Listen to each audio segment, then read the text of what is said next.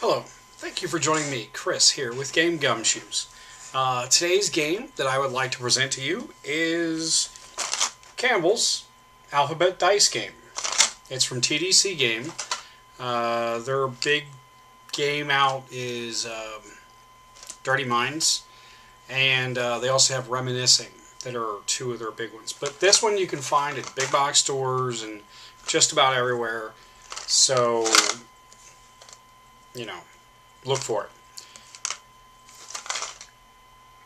I usually cover components, so easy enough. This is your container. Yes, it looks like a standard Campbell soup can. You got your ingredients, uh, your uh, your nutrition. Basically, this is a uh, a quick start for your rules.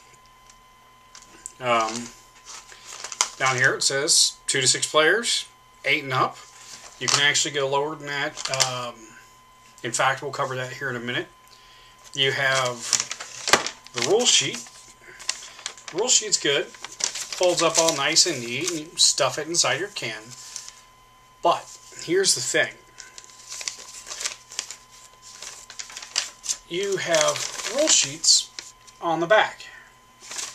I highly recommend you go out and print your own rule sheet from this uh, take it Kinko's, someplace like that, Xerox it, print them off a bunch of copies, and use the copies, or just write your scores down on a sheet of paper. Um, not that hard. It breaks it down to how many players, how many servings, your score. Not rocket science. Last thing that is a component for this game are the dice.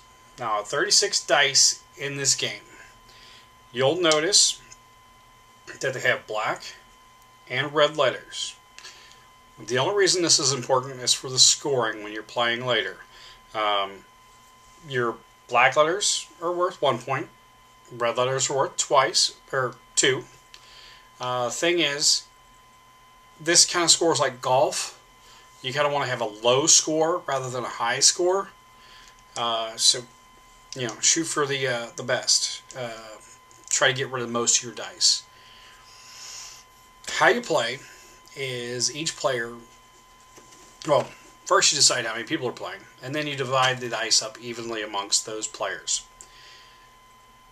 Now you get to take turns, uh, kind of like Scrabble. The first person lays down a word, and then the next person plays off of that word until you kind of run out of well, in this case, dice in your pool. After uh, that point, you can actually take and after everybody's gone around and couldn't do anything, you can what they do. I think they call it stir the pot, where everybody gets to pick up the remaining dice, roll them, and gives them another chance. Uh, they also have something where you can take one letter out of a word pull it out, swap in one of your own letters to make a totally new word. But here's the catch. If you do that, you only get one chance to do it. And there are four rounds to the game. So, you know, use it wisely. Uh, the other thing is, with the four rounds, nah, you have three standard rounds, and then you have what they call the super serving. And in the super serving, everything is doubled.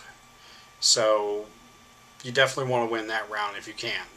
Um, I found that, like Scrabble, it's it's it's kind of a fun game to learn to uh, learn new words, uh, to teach little kids how to spell. Uh, the one thing that this has over Scrabble is that you're not restricted to a board. Um, yes, you do have to have you know lines of words and stuff like that if you're playing the actual game. But, and this is something you could probably do with Scrabble board too if you really wanted to. But with these dice, you could actually sit and just play with a small child and allow them to make up two letter words, three letter words, stuff like that, and just hand them a, a, just give them a bunch of dice and let them go at it. It's amazing the creativity that comes from children and if you actually you know, sit there and make it a game to spell words, not just, you know, the game that's on these rules, but you know, have fun with it. And kids will start building up, you know, better vocabulary, and they'll be able to do a lot with this game, whether they're playing the game or if they're having fun.